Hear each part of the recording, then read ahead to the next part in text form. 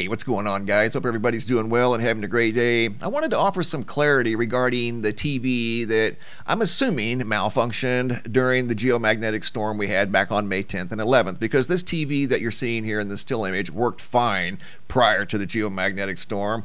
Just after the geomagnetic storm, I turned it on and it was doing this. It had these lines through the center that would not go away.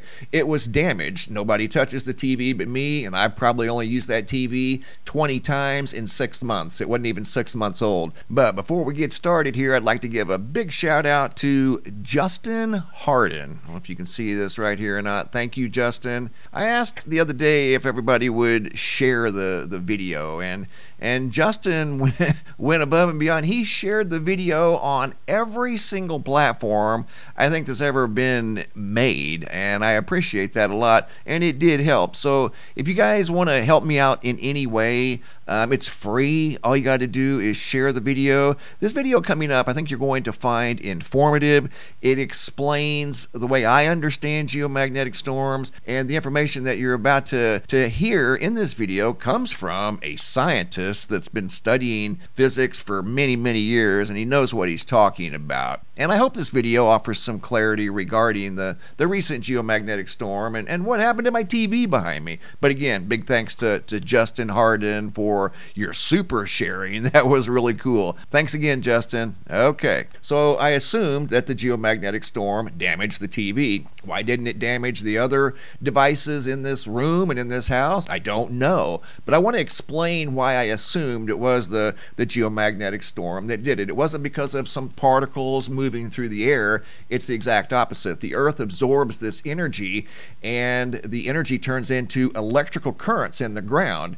And there could have been something unique to this wall, something unique to this area, where some rogue energy, there was a, a surge of energy from the geomagnetic storm that found its way to the TV that had a weak component in the TV, unlike the rest of the devices in the house, that component was susceptible to the energy from the geomagnetic storm and caused it to permanently malfunction. I had to return the TV, obviously, because it was not usable. The one behind me is a brand new one. But I want to read this article because it's very informative over here at spaceweather.com. It explains what happened during the geomagnetic storm. I've studied this before many years ago, and I understand ground currents, electrical currents in the ground that are there all the time, every single day day, but during geomagnetic storms, they are exponentially amplified. Check this out rocks and soil electrified by the superstorm. They're calling the, the historic geomagnetic storm now a superstorm. Across the USA on May 10th and 11th, skywatchers marveled at bright displays of aurora borealis during the biggest geomagnetic storm in decades. Little did they know something else was happening underfoot. Strong electrical currents were surging through rocks and soil. The biggest voltages along the U.S. eastern seaboard and in the Midwest were as much as 10,000 times normal. Here's a close up view of the map, the purple being the highest readings.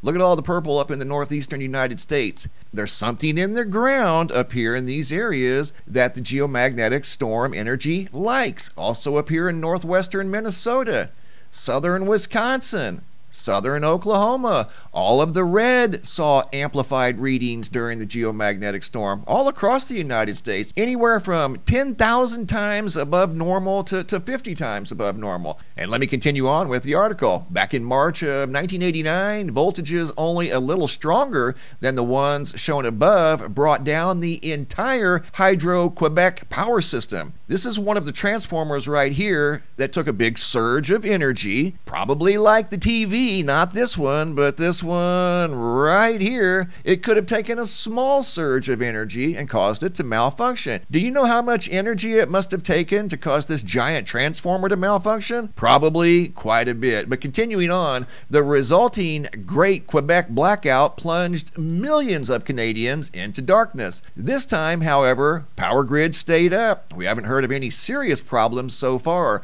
reports Christopher Balch of NOAA's Space Weather Prediction Center. Balch also leads an effort at NOAA to model geoelectric fields during solar storms. The map above is a snapshot from a real time display that takes into account the 3D conductivity of the Earth and ongoing geomagnetic activity. A computer at the Space Weather Prediction Center crunches the data to produce minute by minute estimates of electricity in the ground. When researchers talk about geoelectric fields, they use units of volts per km. Earth's crust naturally contains quiet time fields measuring as little as 0.01 VKM. During geomagnetic storms, these values skyrocket. On May 10th and 11th, geoelectric amplitudes exceeded 10 VKM in Virginia and 9 in the upper Midwest, says Jeffrey Love, a key member of the collaboration at the USGS. These are very high. For comparison, we estimate that geoelectric amplitudes reached almost 22 VKM in Virginia during the March 1989 storm. 22! This means that the May 2024 storm was, electrically speaking, about as half as intense as the storm that blacked out Quebec 35 years ago. That's too close for comfort. However, power companies have taken measures to improve the resilience of their systems. No one would welcome another storm as intense as the one in 1989, says Love. Real time electric field maps are published 24 7 on the NOAA website. During the next geomagnetic storm, you can watch in real time to follow the, the currents in the ground during the geomagnetic storm. And again, here's a look at the map. This is where they were the most intense. And I want to ask you folks that are in the Midwestern United States and in the far northeastern United States and even along the eastern seaboard here in Virginia and, and West Virginia, parts of Pennsylvania, did you guys notice any glitches in your electrical components that you use on a day to day basis? Maybe your monitors, your smartphones, maybe your lights in your house flickered.